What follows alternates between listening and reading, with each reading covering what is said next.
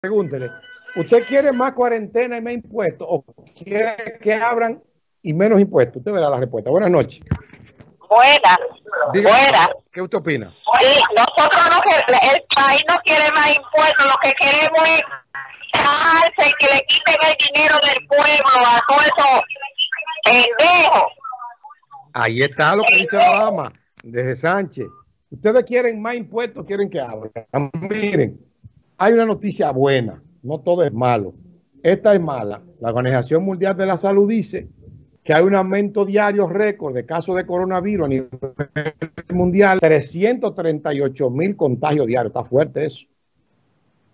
En las últimas 24 horas. Y países que han contabilizado grandes incrementos, India, Brasil y Estados Unidos. 78.524 infecciones diarias y 38.000. Al 2 de octubre los nuevos casos eran 330.340. Se han registrado a nivel global 5.514 muertes. Bueno, ya todo el mundo sabe qué es lo que hay que hacer. ¿De qué me enteré? La única cosa buena que yo creo y la elección que ha hecho el presidente con Milagro, Miriam Germán Brito. Buenas noches, dígame usted. Sí, bueno. Laura de Sánchez te habla. Nosotros queremos que, que no nos quiten, que no, que quiten los impuestos, que ya no se aguantamos más impuestos. Nosotros estamos saturados de impuestos y que la gente se proteja. Ahí está, no quiere más impuestos y que la gente se proteja desde Sánchez. Pregúntale al pueblo si quiere más impuestos y quiere más cuarentena. Vamos a llegar a enero en cuarentena. Está fuerte eso, ¿no? No, no lo aguanta nadie. Una información importante al final, y yo creo que esa la estaba esperando el pueblo. Y yo creo que la elección de Miriam Germán Brito va a comenzar a rendir su fruto. Muy importante. El director de la Procuraduría de Prevención de la Corrupción Administrativa, el nuevo, el señor Camacho, dijo lo siguiente. Desde este PEPCA, cuando Laura Pelletier estaba dirigiéndola, tomó una vacación y aprovecharon las vacaciones de ella, faltando ya una semana para irse el PLD del poder y en el caso de Odebrecht, a los principales envueltos en ese entramado, los imputados de ese entramado, le dieron archivo definitivo y legal con el que estaba de sustituto. ¿Qué quiere decir eso?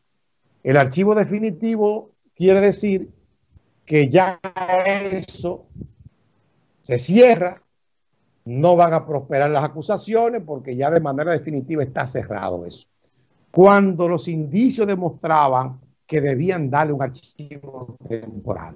¿Quién firmó eso? Uno que está como procurador todavía, que le queda un tiempo ahí que tiene que ser investigado, y el ex procurador general de la República. En los próximos días recibí la información de que el ex procurador general de la República, Jan Alán Rodríguez, va a ser llamado a la justicia. Y que esto se va a investigar porque se hizo de manera ilícita. Y ese archivo definitivo, aquellos que creían que estaban librados y que se habían librado del entramado de Brecht, van al banquillo de los acusados. Y los magistrados que participaron en esa ilegalidad van a ser investigados, destituidos y van para el banquillo de los acusados. Qué bueno, qué bien está actuando Miriam, Miriam Germán Brito. Buenas noches. Buenas. Sí, dígame. Buenas noches, Pitágoras. Sí. Me alienta tu voz escuchar que tú eres la voz que también en el desierto, por lo menos, hablando la verdad. Por eso quisiera yo que tú llegues a ser un, un funcionario que funcione porque estos funcionarios que han puesto ahora en estos puestos no están funcionando, le tienen miedo a la verdad. La doña Miriam Germán, si no quiere tratarlo de LGD, si tendrá porque esa mujer no tiene nada, entonces, ¿qué se sabe? Y si no funciona, también va a tener otra gente que tenga más personalidad. Nuestro presidente debería tener personalidad en lugar de llevar de país ese ladrón, de Batarruy ese ladrón, y que le quite el, dinero que se ha robado del, pueblo. Esa gente del PND y demás personas que allí, que tienen todos millones, que dicen que tienen tres mil millones, yo dándole, dándole más dinero y para pensionarlo con millones. Pero es que me están hoy, ayudando a los cañeros, que eso no existe. Entonces la gente aquí muriéndose de hambre. Yo que el presidente tenga pantalones. Dice, no se deje llevar, que lo quiere hundir. Se va a morir. Que se hundir, deje con esa bandera que tiene ahí. Cuidado, cuidado. que tiene en, su, en su presidencia. Eso no se ha visto nunca. Cuidado, ayúdenme, señores. Ay, se, mire, el esposo, señora, denle una pastillita, le puede dar un infarto, ¿eh? eh un tececito de violeta genciana, de, de, de, lo que me dan a mí, que, que tome algo. Denle un vasito de agua fría para que se calme, me puede morir la doña. Bueno, pero que llame aquí, gracias. Van a llamarlo. ¿Y cuánto me alegra? Porque ese archivo definitivo que se le dio fue ilícito, es temporáneo y se hizo dentro de una trama para que los principales inculpados quedaran fuera.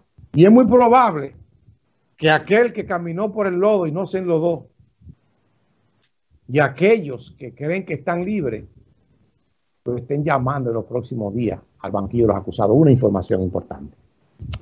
La otra es, ya para pasar lo que tengo aquí en los videos. En un momentito, no se preocupen, que está cercano el presidente a hablar. Yo voy a, a, preguntarle al pueblo qué esperan que el presidente diga esta noche. A ver las expectativas que la gente tiene y los PRMistas que están callados solamente buscando su empleo. Buenas noches, dígame usted. Y los PRMistas callados corriendo debajo de la cama, dígame. Ricardo, ¿tú sabes cómo esa gente se partieron los, los apartamentos y ahí de la Guaya, de la Mar? Sí, yo, estaba hablando con una gente. Yo lo denuncié, ¿tú, ¿tú, recuerdas? ¿Tú te recuerdas que yo fui de los pocos que denuncié, que puse cuando estaban poniendo los colchones, y que es el grupo de Milady, y ese grupito agarró y hizo una distribución ilícita de los no verdaderos propietarios de esos apartamentos, que están la mayoría sin título, puestos ahí por política. Yo lo denuncié, ¿eso tú te recuerdas? Sí, sí. Ah. Yo recuerdo, mira, y para, y para darle más, pues, más fuerza para lo que tú dijiste, mira, estaba hablando con unos políticos esos que trabajaron en la campaña. Mira, mm eh, un diputado le dieron cuatro apartamentos. El gobernador eh, le dio apartamento a su, a su gente. Oye. Cada, cada político por, por país, son, son, son cinco, son cuatro, y hay gente que van a vender apartamentos de eso, y le van a vender cuatro. Se lo quita todo, oíste, se lo quita hay todo. que tienen casa y que tienen casa y que no tienen. Se, se, lo quita todo. que no tienen casa y se la paguen el gobierno del paso. Se lo quito. Se lo paguen poco a poco. Se lo quito, se lo quito a toda esa gente. Y se lo doy al Barrio Azul, se lo doy al 24 de abril, a toda esa gente que se quedaron sin casa. Y se va para afuera todo el político que esté ahí. Bien, en un momentito yo le pregunto lo del presidente, no se preocupen. Antes de Luis llegar al poder, yo le dije a él que iba a iniciar una lucha descarnada contra, yo le voy a poner, porque hoy no tuve tiempo, para que ustedes vean cómo hoy, después de yo dando tanto darle cajeta que quiero ser de lo que pensó, que serví para algo y que influí en algo con mi discurso todas las noches aquí, realista.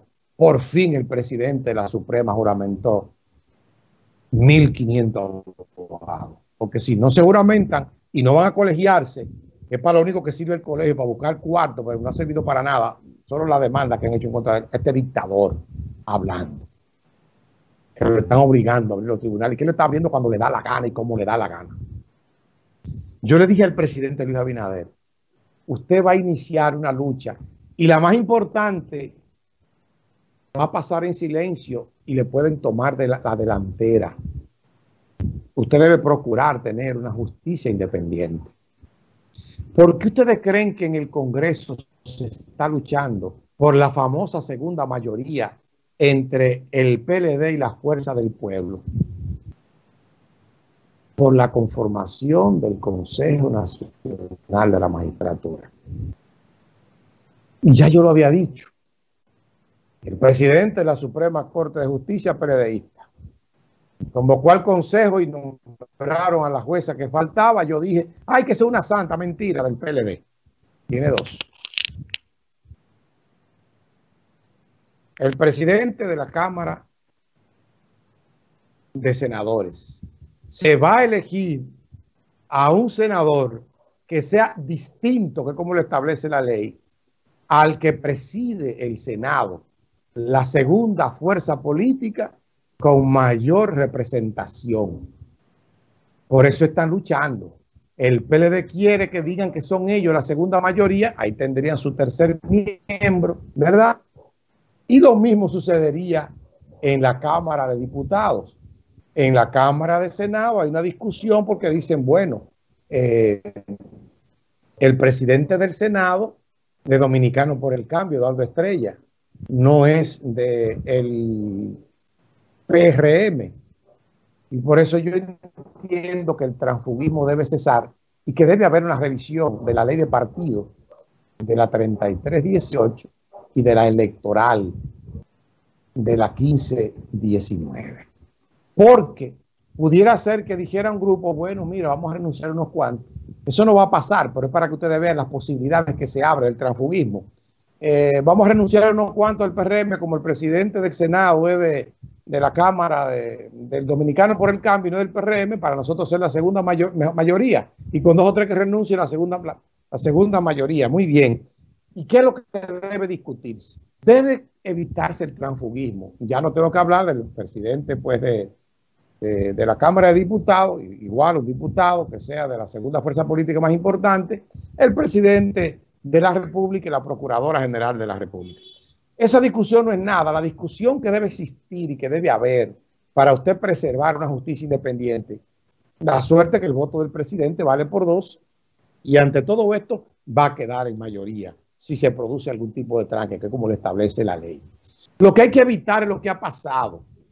¿Qué hizo Félix Bautista después que consiguió ser senador y que lo hizo dentro del PLD porque fue en la fuerza del pueblo sabía que no podía conseguir ni batata? Pasó a la fuerza del pueblo y están constituyendo dentro del Senado, ellos quieren decir que son la segunda mayoría, por el bloque de partidos mayoritarios. Entonces, ¿qué es lo que debe hacerse? Una persona se va después de ganar dentro de un partido una posición política, se va sola sin el cargo, porque la posición le pertenece al partido, para que ese partido someta una terna y se sustituye esa persona y se acaba el transfugismo, que es lo que ha habido hasta ahora. Y esa lucha en el Consejo Nacional de la Magistratura, Luis tiene que librarla para conseguir que cuando se convoque exista un equilibrio, pero preeminencia del Partido Revolucionario Moderno para que ponga una justicia que sirva, que no siga dirigida por el PLD, que es lo que quiere el dictador. Pues yo lo pongo a usted, Luis Henry Mejía. Este muchacho cree que es como un emperador romano. Ese cargo le quedó muy grande a ese muchacho. La peor elección que ha habido para que ustedes vean cuando se habla de elegir a un miembro del Consejo Nacional de la Magistratura. Ojalá esa discusión termine que termine con la mayoría el Partido Revolucionario Moderno para que vea que yo le dije que esa lucha venía y se está escenificando hoy. La gente no entiende lo importante que es eso. El Consejo Nacional de la Magistratura elige todos los jueces del país. Y de ahí sale que exista una justicia administrada de manera correcta o parcializada políticamente. Buenas noches, dígame usted. Buenas. Sí, dígame. Dígame.